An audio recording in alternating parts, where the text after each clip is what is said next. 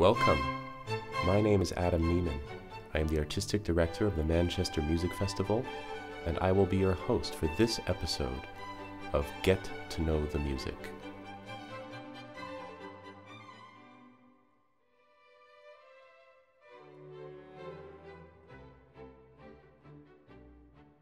This episode is dedicated to a topical exploration of sonata form. This structure was often the prime choice for composers writing large scale works, such as sonatas, symphonies, concertos, chamber music works, and more. We will dissect its component parts, evaluate how those parts add up to a balanced structure, and we will further highlight how the various movements within a large scale sonata interact with one another.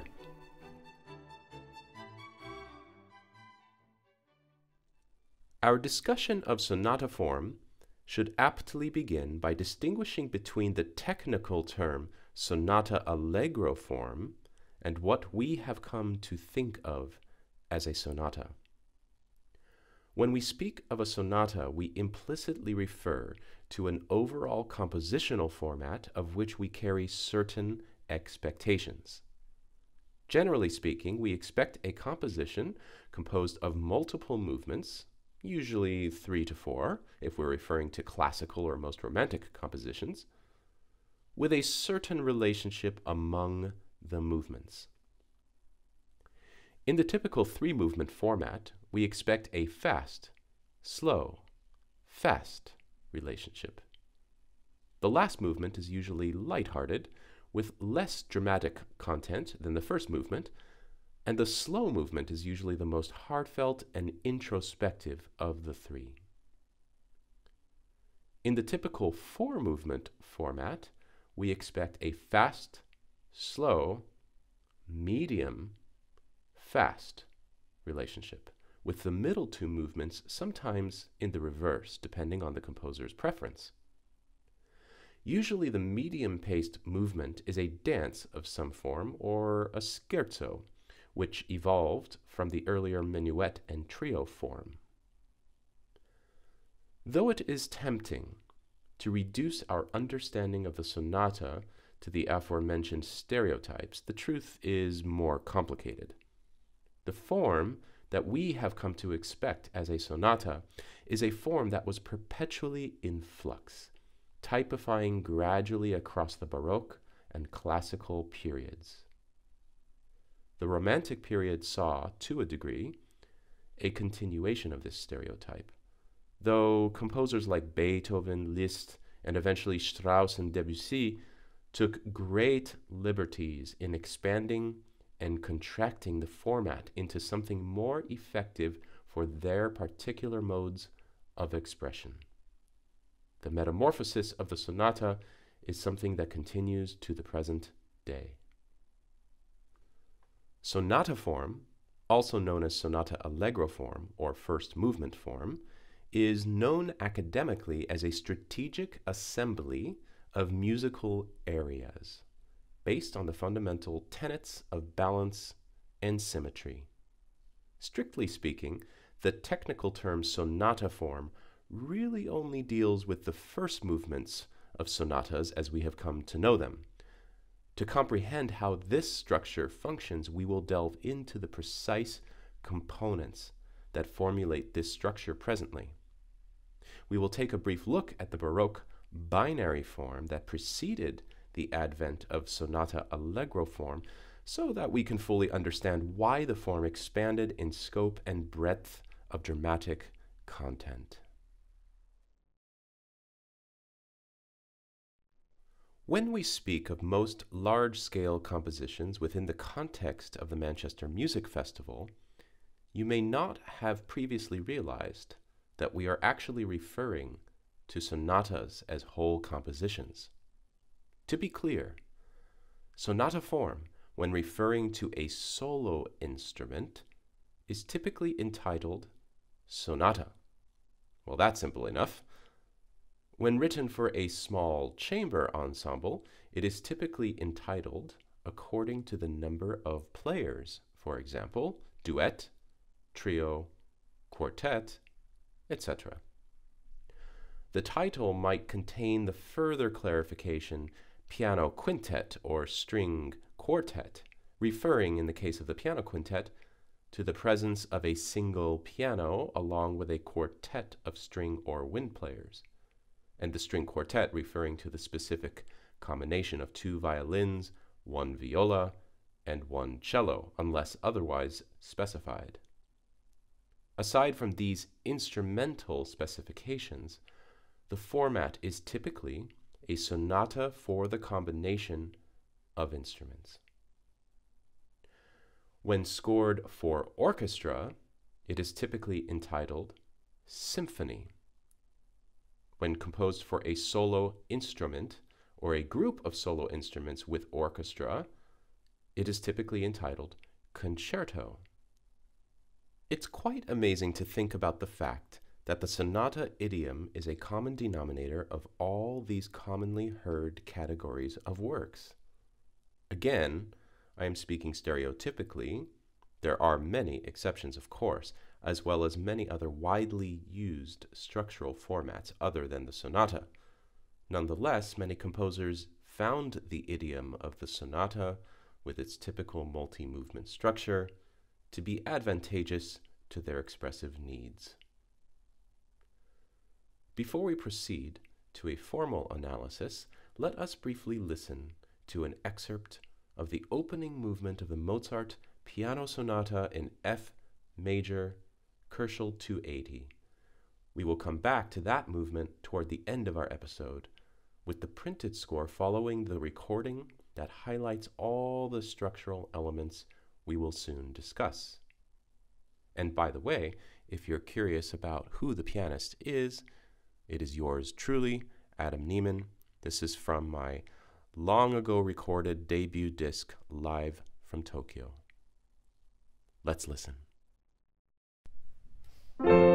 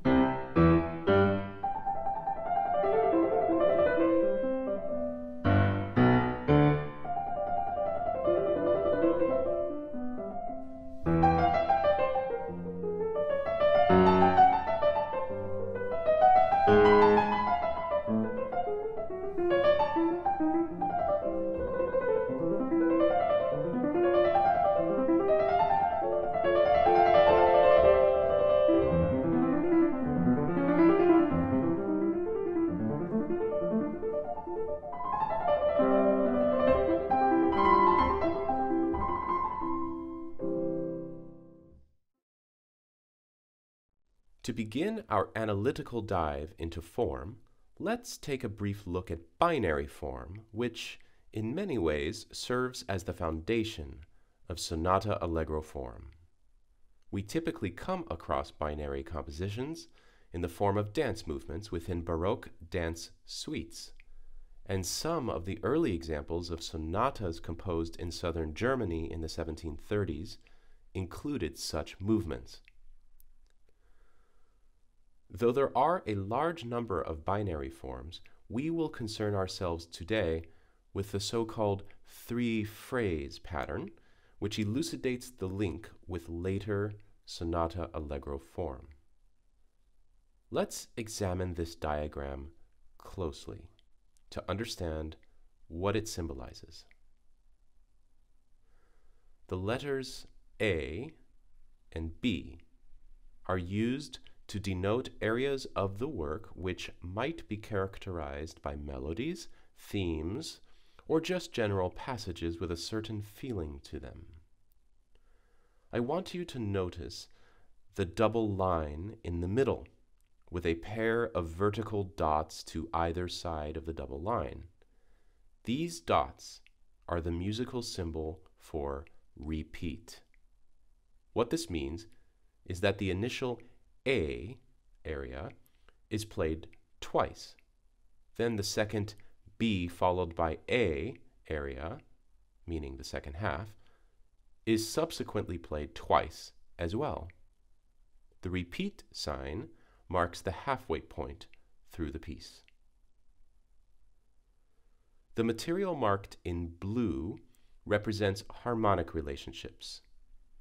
The scope of this episode is not sufficient to cover a full fledged survey of harmony, but suffice it to say, for your present understanding of the form, that 1 represents the home key, the key that the work is set in.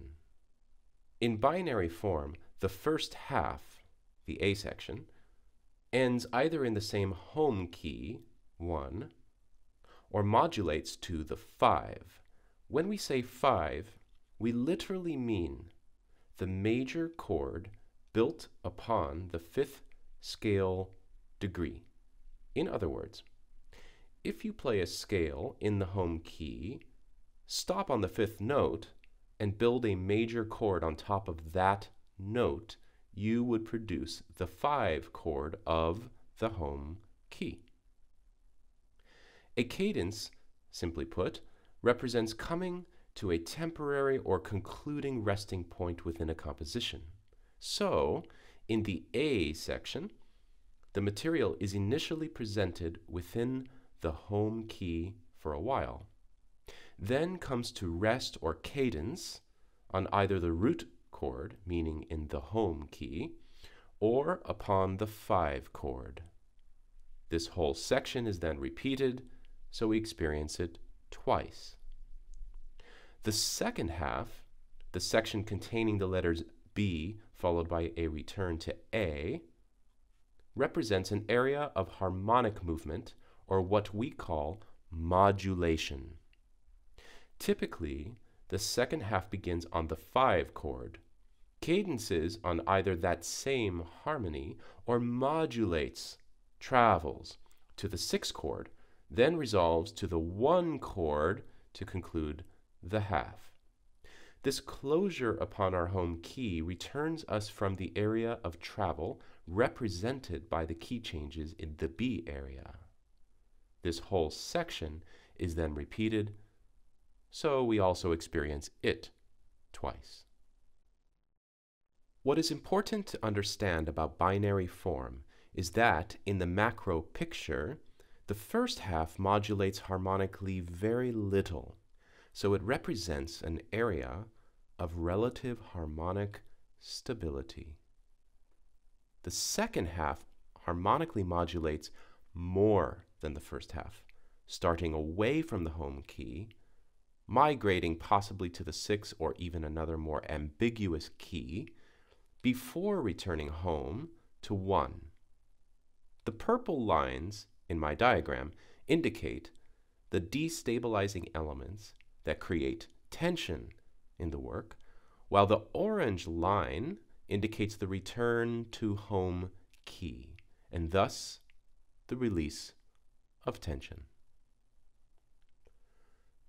The hierarchy I have diagrammed uses lowercase letters a and b in white to represent the short-term areas while the capital letters A and B in green represent the two large-scale halves of the work. Notice the lengths of the halves are equivalent. Therefore, the form is symmetrical. This is an important value of the binary system, this equivalency, and that proportion became the main focus of metamorphosis as composers evolved the sonata allegro form beyond its binary roots. Now we come to sonata allegro form, also known as first movement form, as it is commonly employed for the substantial first movements of classical and romantic sonatas. Keep in mind what we just surveyed regarding binary form, the symmetry of the halves, the stability of the first half followed by the instability of the initial second half, concluding with full resolution. Essentially, Sonata Allegro form achieves a similar result, but with an expanded scope and somewhat altered proportion. The three main areas, what had been marked as lowercase a and a followed by b in the binary form diagram, are referred to in this context as exposition, development, and recapitulation. What had functioned as the first half of the binary form is now the exposition of the sonata allegro structure. It is so named to clarify that it exposes or initially presents all of the important material around which the movement is constructed.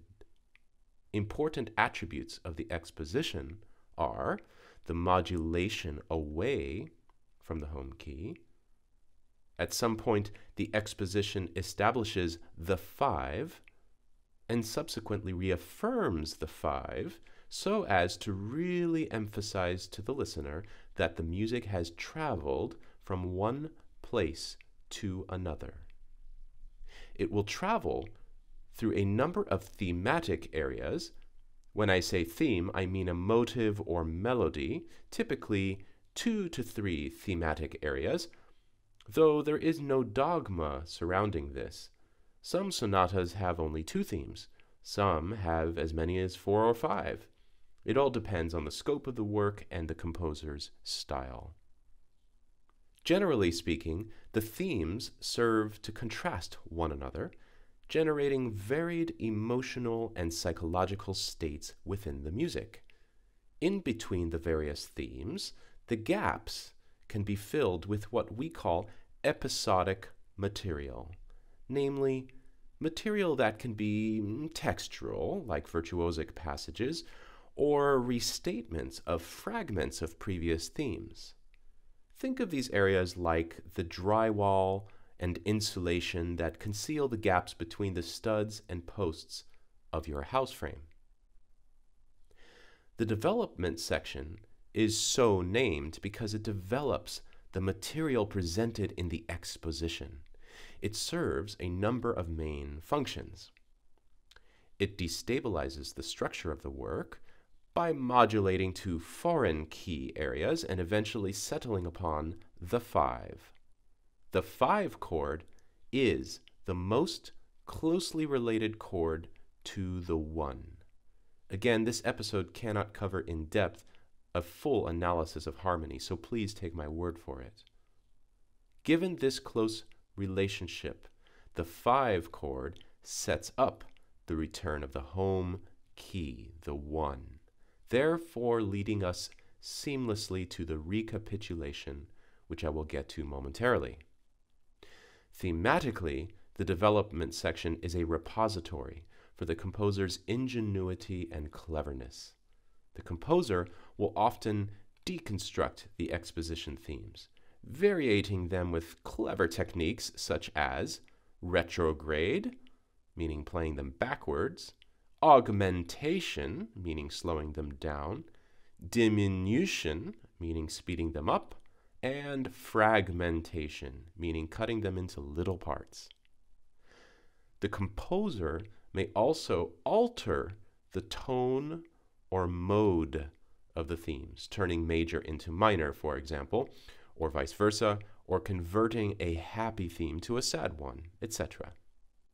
The development section is commonly an area to display the virtuosity of the performer, and the dramatic flair of the composition is elevated by all of the aforementioned techniques. Seamlessly, and through the firm establishment of the five key, or what we call the dominant, the work recapitulates, meaning says it all again. In the recapitulation section, the home key is reestablished, the mood and character are stabilized after all that chaos of the development, and the recapitulation brings the work to a conclusive finish, either by simple strong cadences on the one, the home key, or through an added coda section that serves to bolster the feeling that things have come to a satisfying conclusion.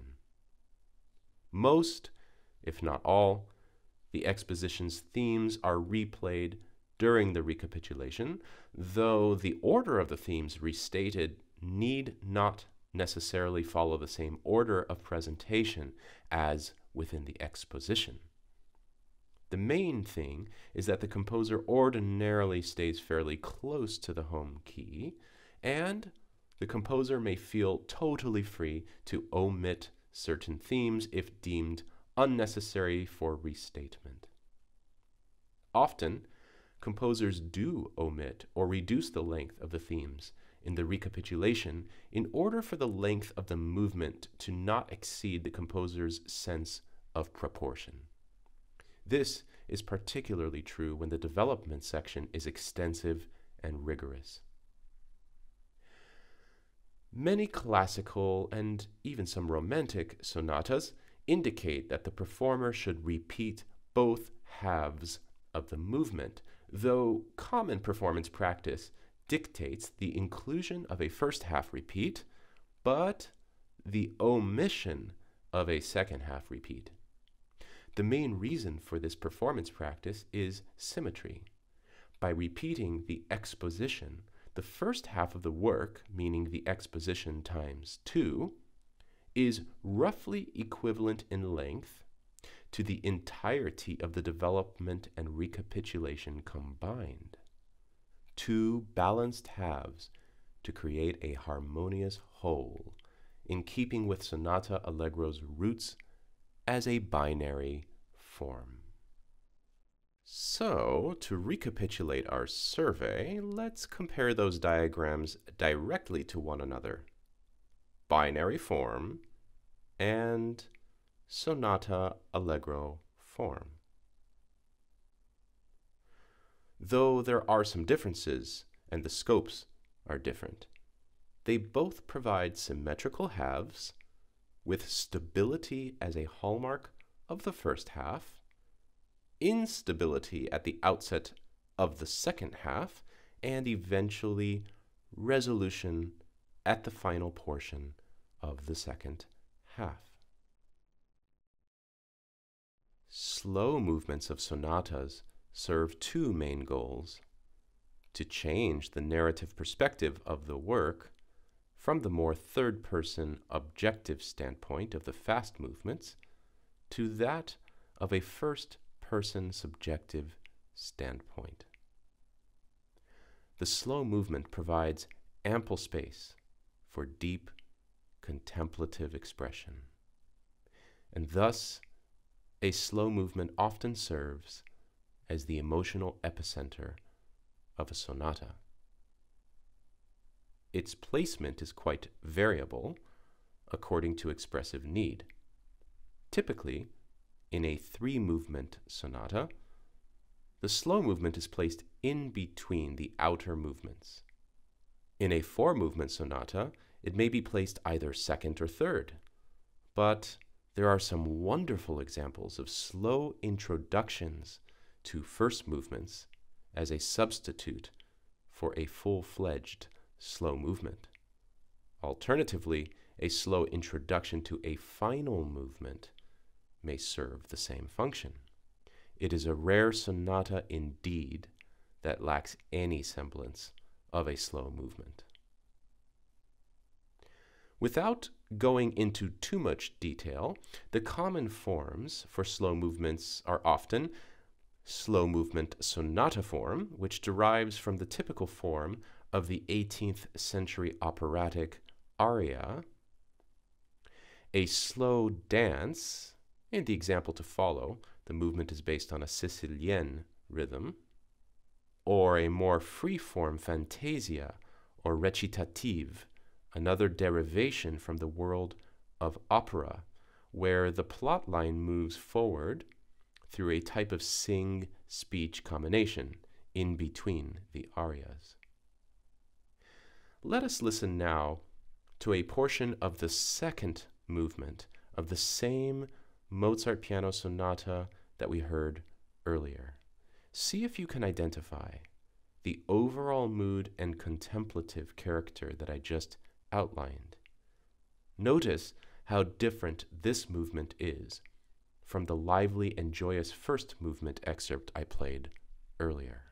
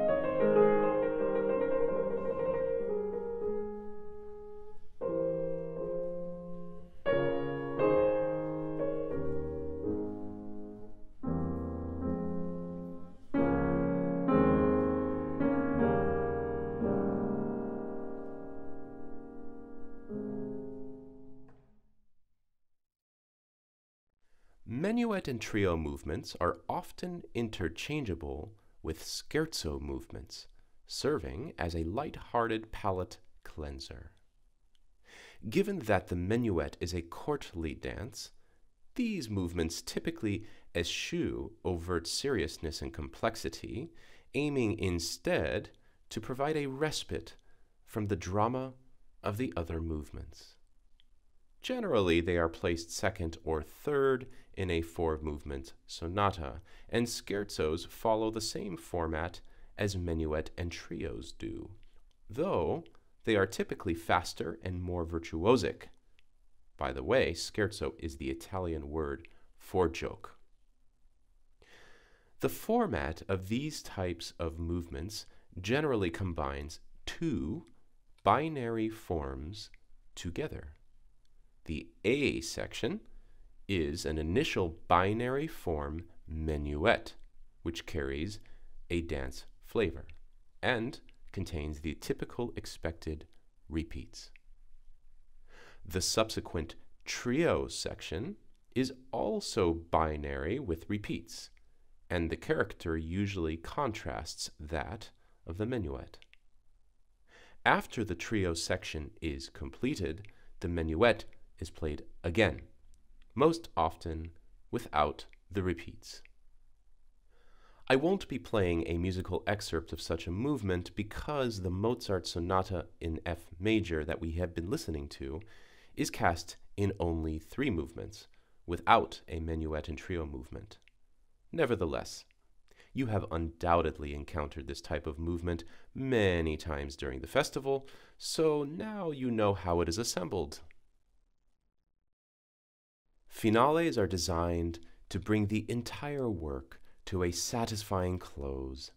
And depending on the mood of the work in general, they may be characteristically fast and exciting, or alternatively pastoral and folksy.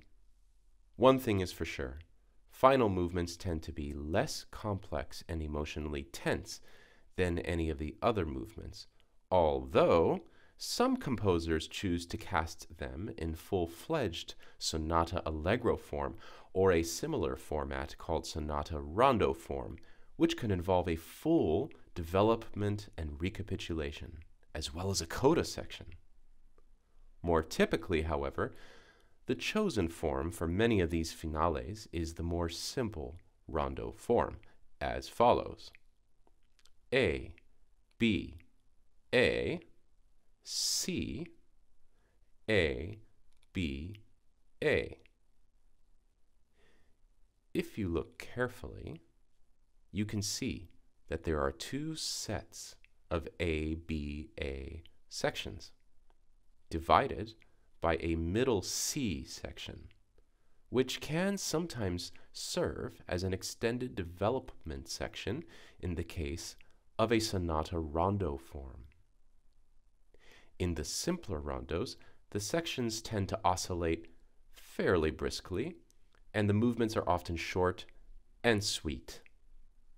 Apropos, let's listen to an excerpt of the third and final movement of the Mozart Piano Sonata in F major, Köchel 280, a typical example of rondo form.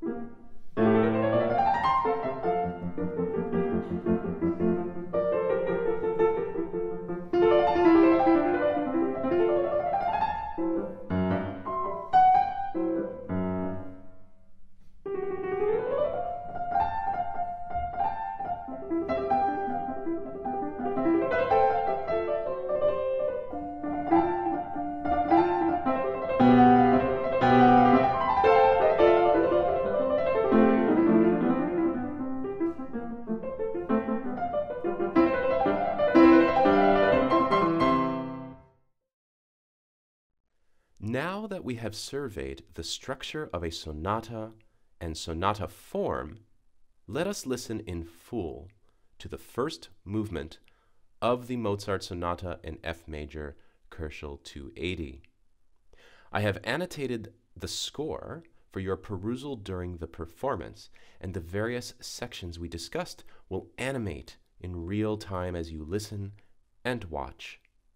Even if you can't read music, you can still hear and feel the various areas of the structure, and you can fully comprehend the beautiful symmetry and grace of this marvelous work.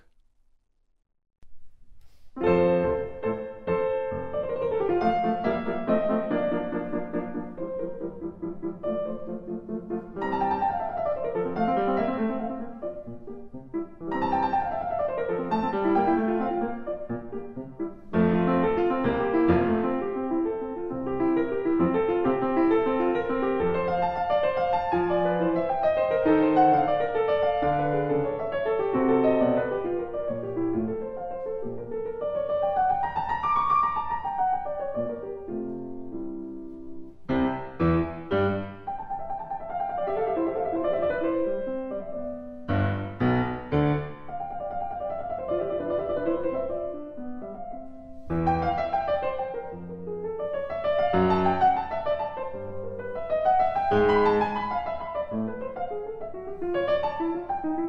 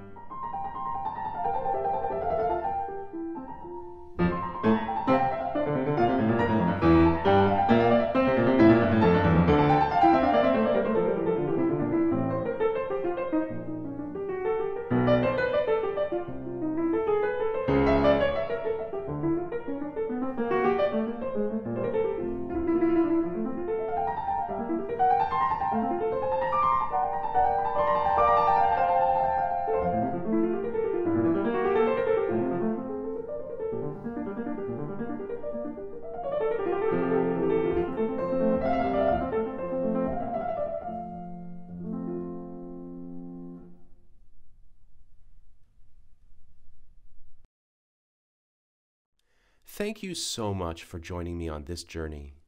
I've so enjoyed talking to you about sonata form, an important and representative structure that underpins so many of the wonderful compositions we program at the Manchester Music Festival.